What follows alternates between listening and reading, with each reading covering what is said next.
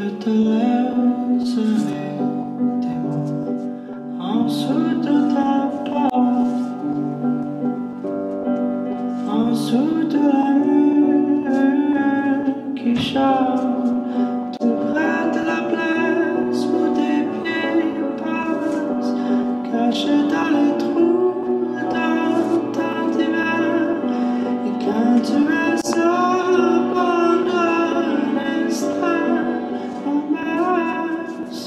Thank you.